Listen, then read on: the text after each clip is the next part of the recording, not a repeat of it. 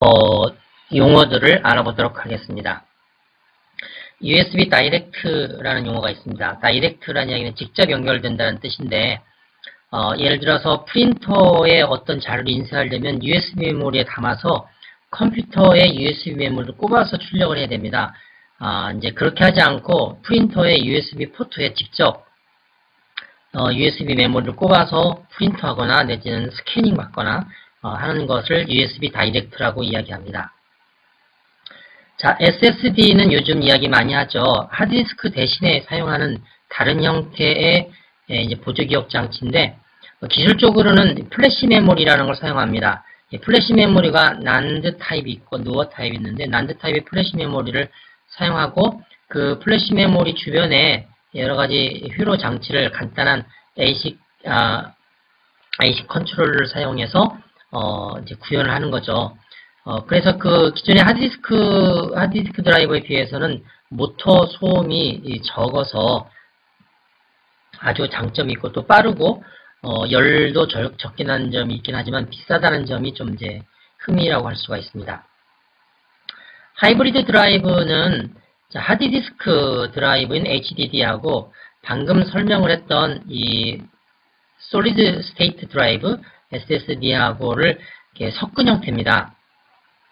그래서 이 HDD에서 SSD, SSD로 옮겨가는 과정 가운데서 중간에 나타나는 현상으로 쓰고 있는 drive가 hybrid drive입니다. 자, memristor라는 게 있습니다. memristor는 두 단어가 합해진 건데 메모리와 레지스트리에 합성합니다. 어, 보통 이제 그 전원 공급이 끊어지면 원래 메모리라는 것은 기억했던 내용들이 날아가죠. 어, 그래서 이제 전원이 끊어져도 직전 상태를 모두 기억해서 나중에 전원이 복구됐을 때 어, 내용이 복원될 수 있도록 어, 만든 이제 소자입니다.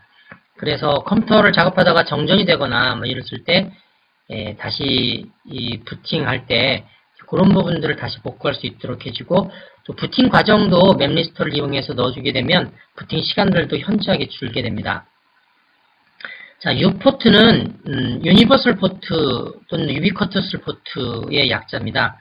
어, 유비쿼터스라는 거는 이제 말 그대로 어, 네트워크가 실생활 곳곳에 연결되어 있는 거죠. 그래서 네트워크 에 이제 연결되어 있는 것을 인지하기 위해서 사물에 RFID라는 태그를 붙이게 되는데 그 RFID가 붙여 있는 태그 대개는 이제 컨테이너 박스에 붙이고요. 그 RFID를 이용해서 컨테이너 박스를 인식을 하고 그리고 이제 그 컨테이너 박스를 이동시키는 화물 운송 차량하고 어, 연결을 해서 어, 선박에다가 아, 이 컨테이너 박스를 이제 선, 이제 적재를 하고 이동하고 하는 것들을 예, 실시간으로 유비쿼터스 한 환경하에서 다루는 그런 이제 예, 항만 물류관리 시스템을 U-Port라고 합니다. 자, URAM이라고 있죠. Unified RAM인데 어, 일반적인 램이 이제 주기억 장치 소자죠. 그래서 기존의 D램의 장점과 이제 플래시 메모리의 장점을 섞은 퓨전 메모리를 URAM이라고 이야기를 합니다. 주로 휴대용 장비에 많이 사용하고 있고요. EPC는 Electronic Product, Product Code라고 해서 그 RFID에 내장되어 있는 코드입니다. 그래서 제품마다 이제 그 RFID 안에 보면은 그 제품의 고유한 일련 번호를 부착하는 상품의 일련 번호를 부착하는 numbering 코드가 어, EPC고요. 어, UPC보다 좀 더 진전된 이제 그런 버전이고 밑에 보시면 EPC 클래스가 나와 있죠. 클래스가 클래스 1부터 클래스 4까지 나와 있는데 뒤로 갈수록 좀 더 복잡한 태그입니다. 그래서 EPC 클래스에 보면 클래스 1은 읽기 전용의 이제 수동형 태그고요. 클래스 2는 읽기 쓰기 겸용. 클래스 3는 이제 반능동형이라고 해서 배터리를 사용하고요. 네, 클래스 4는 태그끼리 서로 통신할 수 있는 완벽한 능동형 태그를 이야기를 합니다.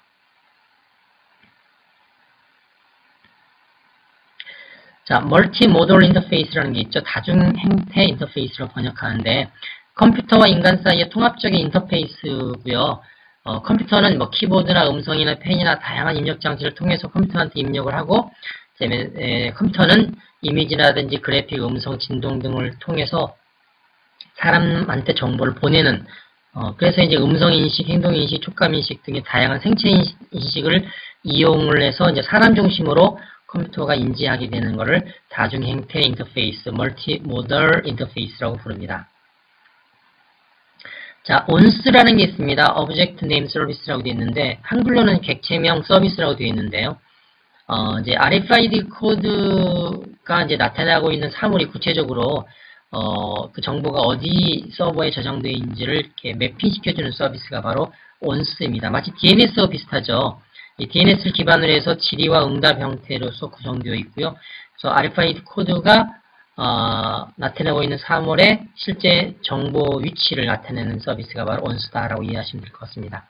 자, 포토센스는 포토라는 게 사진이고요. 센스가 센서사이즈에서 분석하는 건데 여러 개 같은 장소나 같은 대상에 대해서 여러 각도로 사진을 찍습니다. 3차원적으로 찍은 다음에 에, 이 사진들을 분석해서 실제적인 3차원 공간을 만들어내는 기술을 Photosynth라고 이야기를 합니다. 기술적으로는 이제 스칼라 벡터라는 걸 사용한다고 이렇게 되어 있습니다. 자, utility computing이라는 말이 나와 있는데 어, 보통 이제 우리가 집에서 사용하는 전기, 수도, 가스는 전기를 위해서 발전소, 수도를 위해서 정수장 뭐 이런 것들을 집안에 만들어 놓지 않죠.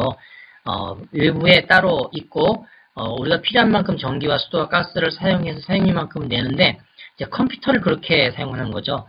어, computing 센터를 computing 자원을 집안이나 회사 안에 두지 않고 바깥에 computing 자원과 네트워크 자원들을 내가 필요한 만큼 사용을 하고 돈을 내면서 사용량만큼 내 쓰는 것을 utility computing이라고 합니다. 자, quantum 컴퓨터라는 게 있습니다. 양자 컴퓨터. 이 양자역학에 기반한 계산 방식을 적용해서 만든 미래형 컴퓨터인데 기존 컴퓨터는 비트를 기반으로 동작하죠. 0과 1. 어, 양자 컴퓨터는 qubit라고 해서 0과 1의 상태를 표현하는 네 가지 0001, 1011 이걸 기반으로 해서 동작을 하고 있고요. 어, 고속으로 계산할 수 있어서 뭐 미래형 컴퓨터로 제시를 하고 있습니다. EB라고 하는 엑사바이트는 기억 용량이 단위입니다. 2의 60승 바이트를 엑사바이트라고 이야기합니다. 어, 보통 2의 10승이 1024바이트죠. 그러면 2의 60승은 2의 10승의 6승이죠. 그러니까 1024의 6승이 바로 엑사바이트고요. 또 요타바이트라는 게 있습니다. YB라고 되어 있는 요타바이트는 2의 80승입니다. 아, 따라서 이거는 2의 10승의 8승이니까 1024의 8승 바이트를 나타냅니다. 아주 대단한 용량이죠. 자, 메타데이터라는 단어가 있습니다. 데이터보다 상위에 있는 데이터, 또 데이터에 관한 데이터, 보통 메타데이터라고 하는데 주요 데이터의 특징이나 성격이나 의미 등을 요약하듯이 추가로 설명해주고 있는 보조 데이터를 메타데이터라고 그러죠. 예를 들어서 도서관에 가면 각종 책에 관한 도서 목록에 관한 정보가 있는데 이것도 메타데이터입니다. 실제 데이터는 책 자체죠. 책 안에 많은 정보가 있고 그 책에 관한 정보에 관한 정보가 바로 도서 정보죠. 이 일종의 이제 메타데이터죠. 뭐 홈페이지의 HTML 같은 문서에서도 보면 meta라는 태그가 있습니다. 그래서 그 홈페이지에 관한 여러 가지 그 속성 정보들을 meta 태그에 보통 적어주게 됩니다. 그래서 뭐 이 컨텐츠가 뭐 언제 만들어졌고 누가 만들었고 뭐 등등등 정보들을 대개 이제 멀티미디어 정보 같은 경우는 메타데이터로 표시하게 됩니다.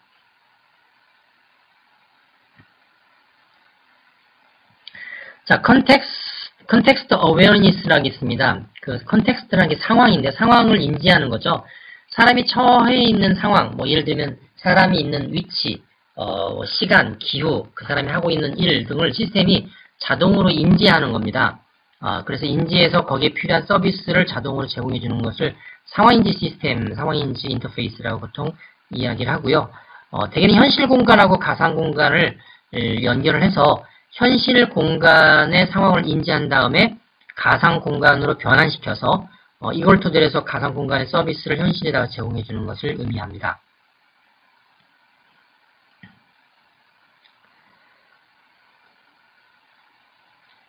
자, 몇 가지 단어들은 음, 약간 시간도 지났고 보편적인 거라서 생략을 하고요. 뭐 플래시 메모리는 뭐 어, 많이 사용하고 있죠, 요즘에.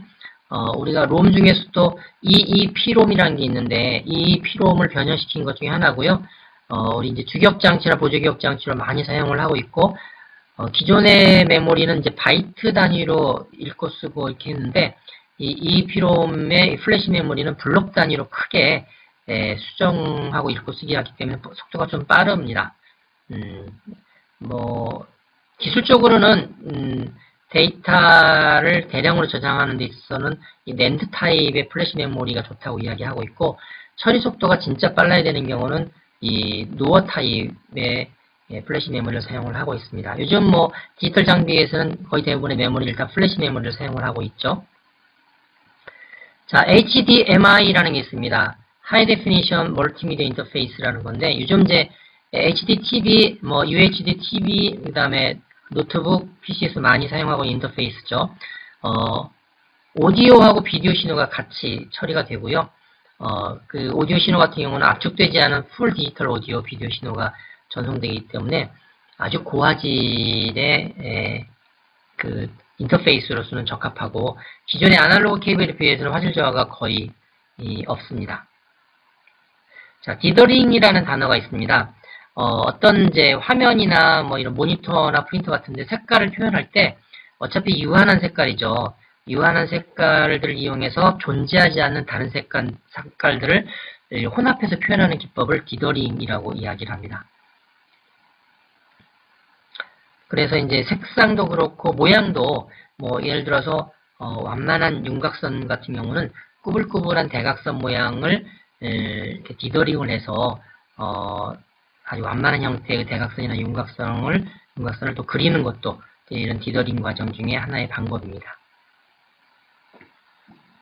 자, blade 서버라는 게 있습니다. 보통 서버는 잘 아시죠? PC보다 훨씬 더 computing 파워를 갖고 있는 독립된 컴퓨터 시스템인데 어, 이런 서버들을 여러 개 놓게 되면 공간들이 계속 늘어나니까 한 서버 안에 예, 실제 서버로서 가질 수 있는 기본적인 어, 요소, 그러니까 CPU, 메모리, 하드디스크, 운영체제 이런 것들을 그 같은 본체 안에 이렇게 마치 슬롯처럼 집어넣는 겁니다.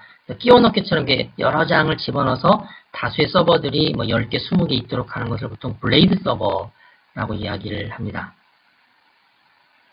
그 다음에 SED라는 게 있습니다. 뭐 표면 전도 전자 방출 디스플레이라고 좀 어려운 말로 번역이 되어 있는데 Surface Conduction Electron Emitter Display라고 되어 있죠. 기존에 이제 모니터가 사용하는 전기적 특성을 이제 나노 기술을 이용해서 아주 작게 예, 구현한 건데요.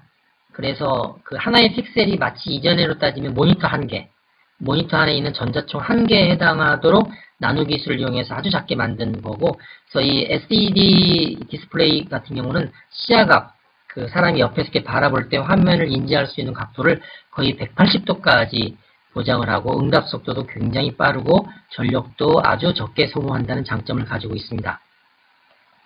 자, UPnP. 자, PnP라는 말은 들어보셨을 거예요. Plug, Plug and Play라고 해서 컴퓨터에 이렇게 꼽기만 하면 어, 별도로 세팅을 하지 않아도 컴퓨터가 자동으로 인식하는 거가 이제 Plug and 예, Play가 되는 거죠.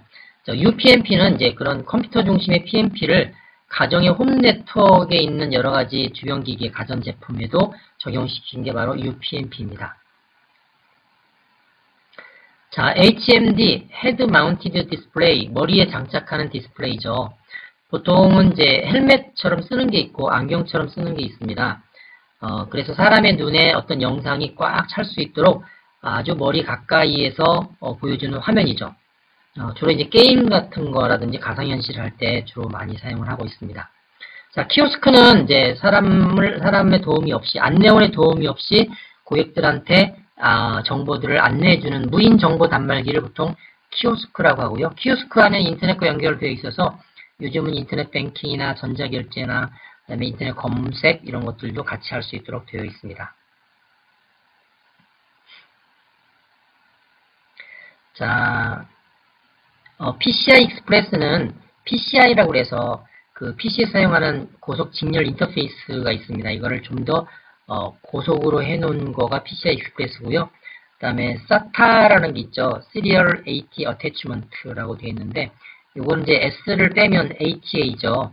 자, 이거는 이제 기존의 PC에서도 보면은 ATA 규격의 인터페이스, 직렬 방식 인터페이스가 있는데 어, 이거와 호환성을 갖도록 하면서 대신에 이, 이 ATA는 보통 병렬 방식이거든요. 이거를 직렬화 시킨 겁니다. 그래서 어, 40개의 신호, 병렬 신호 40개를 6개의 직렬 신호로 어, 줄였, 줄였지만 데이터 전송 속도도 되게 빠르고 음, 그래서 이제 새로운 인터페이스로 나온 게 SATA고요.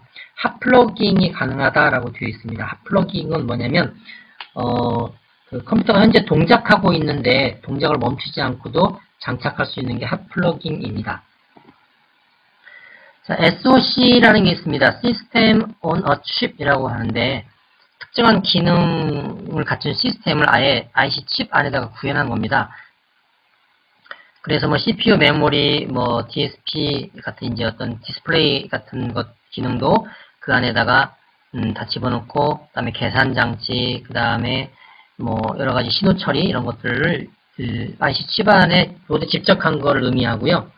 어, 결국 이제 나노 기술의 결과물이라고 볼 수 있고 그래서 이제 스마트폰이나 디지털 TV나 이런 데 안에 SOC로 구현된 많은 모듈들이 들어가서 부피는 아주 작지만 실제로는 컴퓨터의 기능 이상을 해낼 수 있도록 하고 있습니다. 자, 라토나 칩이라는 게 있죠. 어, 이 소켓 입출력 방식의 네트워크 프로토콜을 이 SOC, 방금 앞에서 말씀드렸던 SOC에 구현해서 어, 어, 실제 사용할 수 있도록 한 가속 엔진을 이용을 합니다. 그래서 어, 네트워크 기능을 많이 요구하는 서버에서 이 보통 라토나 칩을 사용하면 네트워크 경로 현상을 많이 줄일 수가 있습니다.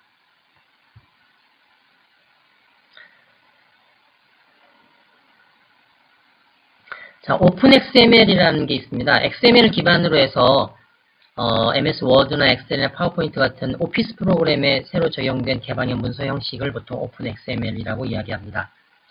자, v, VML이라고 있죠. Vector Markup Language, 벡터 생성 언어인데 이건 XML 일종입니다. 근데 이제 웹에서 벡터 그래픽 형식으로 이미지를 정의할 때 쓰는 어, XML이 VML이다라고 이해, 이해하시면 될 것 같습니다. 자, SAN이라는 거 있죠. Storage Area Network이라고 하는데, 자, storage가 저장 장치죠. 어, Area Network, 광 어, 저장 장치 영역 네트워크이라고 되어 있죠. 사실 이 SAN은 뭐냐면 어, 서로 다른 종류, 여러 가지 이질적인 데이터 저장 장치를 아주 큰 규모의 그 네트워크에 연결해 놓은 겁니다. 어, 연결해서 많은 네트워크 사용자들이 공용할 수 있도록 해 놓은 거고요. 그래서 데이터 백업이나 복원이라든지 mirroring이라든지 어, 데이터 이동 이런 것들을 아주 뭐 빠른 속도로 잘 제공해 주고 있는 게 SAN입니다. 그 다음에 NAS, NAS라는 게 있습니다. Network Attached Storage라고 해서 네트워크 부착 기억장치라고 되어 있죠. 보통 storage는 서버에 보통 부착이 되어 있죠. 근데 이제 이 storage를 서버로 또 분리해서 어, 기존에 이제 이 음, 표준화된 프로토콜을 활용해서 어, 이 파일 서비스만을 전담하도록 예, 구성한 저장 장치를 NAS라고 이야기합니다. NAS를 이용할 경우에는 데이터를 이제 한 곳에 통합 관리하기가 편하고요. 서버로부터 독립되어 있기 때문에 확장성도 굉장히 예, 높아져 있고 어, 그리고 이기종 서버 간의 데이터 공유 같은 것이 가능하다는 그런 장점이 있습니다. 자, embedded software라고, embedded라는 것은 이제 내장되었다는 뜻인데, 뭐 이런 겁니다. 소프트웨어가 어, 요즘 냉장고, 텔레비전, 뭐 셋톱박스, 휴대폰 안에 들어가 있죠. 그래서 이제 그 특정한 디지털 제품을 기능을 수행할 수 있도록 프로그램을 미리 이제 짜서 그 안에다가 내장시킨 것을 embedded software라고 이야기합니다. 자, 사람 중심 인터페이스 어, HCI 원래는 HCI가 Human Computer Interface인데 여기 HCI는 다릅니다. Human Centric Interface죠. 어, 사람 중심의 인터페이스죠. 어, 이전에는 컴퓨터가 이해를 잘 할 수 있도록 어, 컴퓨터 입장을 뭐 고려했다고 그러면 좀 이상하지만 어, 컴퓨터와의 대화가 좀 사람 중심에서 컴퓨터 중심이었다고 하면 이 Human Centric Interface 같은 경우는 마치 컴퓨터가 사람인 것처럼 음, 그러다 보니까 이제 사람과 사람과의 대화처럼 자연스럽게 이루어질 수 있도록 여러 가지 상황 인식이나 또 고도의 입출력 어, 인터페이스를 제공하고 있는 게 바로 Human Centric Interface가 됩니다. 클라우드 애니메이션, 클라우드라는 게 군중이죠. 애니메이션인데 음, 이 애니메이션 같은 경우는 어, 주로 이제 영화 같은 데 보면 수백 명, 수천 명, 뭐 좀비 영화 같으면 수천 명의 좀비들이 나오죠. 또 곤충이나 동물들이 나오는데 네, 실제로 이제 그런 사람들이 동원돼서 쓰는 게 아니라 아, 가상의 캐릭터로 이제 대치를 시켜서 촬영하는 거죠. 그래서 군중들을 애니메이션에서 군중들을 이제 그 영화나 이런 장면에 나오게 하기 때문에 실제 그 숫자만큼의 엑스트라를 동원한 것에 비해서 훨씬 더 저렴하고 저렴하고 또 장면들을 또 수정하는 것도 편하고 그래서 많이 사용하는 게 이 crowd 애니메이션입니다. 자, 나노 기술은 보통 10억분의 1m를 나노라고 하는데 원자나 분자를 분석하고 이해하는 조작하는 기술인데 이게 이제 IT 안에 들어와서 아주 작은 규모의 IT 하드웨어와 소프트웨어를 구현하는 것을 보통 이제 나노 기술을 IT라고 이야기를 합니다.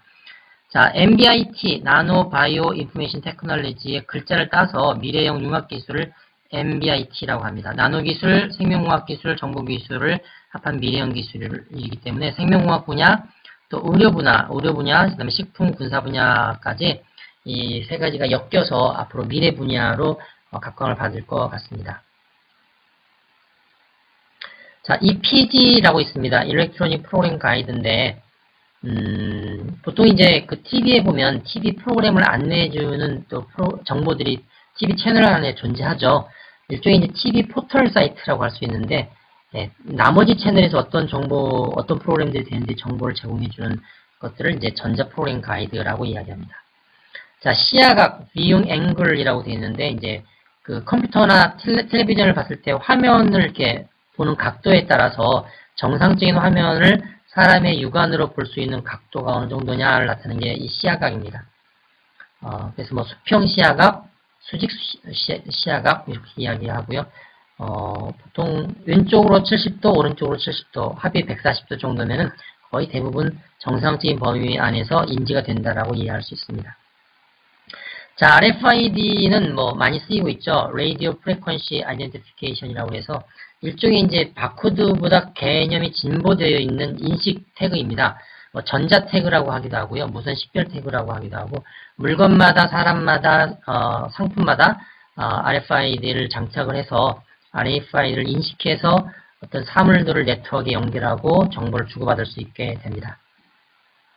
자, 코덱이라는 게 있습니다. 어, 코덱은 이제 영상이나 음성 같은 그 아날로그 데이터를 컴퓨터형 디지털 데이터로 변환시켜 주거나 또는 반대로 복원시켜 주는 것을 이제 코덱이라고 합니다. 그래서 컴퓨터용 디지털 신호로 바꾸는 것을 코딩, 다음에 디지털 신호를 다시 아날로그 신호로 바꾸는 걸 디코딩이라고 이야기를 하죠. 그래서 코딩에서는 주로 압축이나 암호화 기술이 사용이 되고요. 디코딩에서는 또 반대의 기술이 사용이 됩니다. 자, MPEG 21이라는 게 있죠. 어, 광범위한 계층의 멀티미디어 자원을 서로에게 잘 호환할 수 있도록 하기 위해서 이 멀티미디어 콘텐츠를 생성하고 또 주고받고 전달하고 거래하고 관리하고 소비하고 하는 모든 과정들에 관한 그 관리 프레임워크를 프레임워크 표준 기술 MPEG-21이라고 이야기를 합니다. 자, DV, DVX라는 게 있고 X가 작은 글자, 큰 글자로 되어 있죠. 어, 이큰 글자로 되어 있는 DVX는 음, MPEG-4 우리가 휴대폰으로 보는 이제 보통 동영상들이 보통 MPEG-4인데 이 MPEG-4 기술의 토대를 준 음, 디지털 비디오 압축 포맷이 바로 DVX다라고 보시면 될 것 같습니다. 아, OGG는 이제 디지털 음악 파일의 일종이죠. MP3가 이제 유리화되는 것에 대한 반발로 인해서 어, 나왔던 이제 무료를 기반으로 한 음악 파일 포맷이 OGG입니다. 그래서 뭐 크리스토퍼 몽고메리가 만든 음악 파일 포맷이다라고 되어 있습니다. 비스미라고 되어 있는 비스미는 어떤 소리를 표현하는 데 사용될 수 있는 얼굴 음, 얼굴 이미지를 음, 나타납니다. 그래서 어, 소리에 관한 음, 시각적 대응이다라고 음, 이제 보통 표현을 하고 있습니다. MMORPG는 뭐 이전에는 이제 RPG에서 진전, 진전된 거죠. RPG가 role playing game, 역할 플레이 게임인데 이제 MMO가 붙었죠. Massively Multiplayer Online. 어, 초고속망에 수많은 사용자들이 동시에 붙어서 role-playing game을 하는 겁니다. 그 다음에 MMS, Multimedia Message Service. 우리가 이제 문자 서비스를 보통 SMS라고 하죠. MMS는 이제 문자만이 아니라 동영상, 음악 이런 것들이 같이 예, 전송되는 게 MMS입니다. 어, CMYK라는 단어가 있습니다. 보통 인쇄나 색상과 관련해서 쓰고 있는 단어인데 어, 인쇄의 기본적인 색깔이 보통 어, cyan, 그 다음에 마젠타, 아, yellow, black입니다. 그래서 청록색, 자홍색, 노랑, 검정. 그래서 잉크도 이런 형태에서 공급을 하죠. 칼라 잉크들은. 그래서 필름을 현상해서 인쇄하는 offset 음, 인쇄에 보통 사용이 되고요. 어, 우리가 흔히 사용하는 그 그래픽 tool들에서는 이 CMYK를 다 지원하고 있습니다.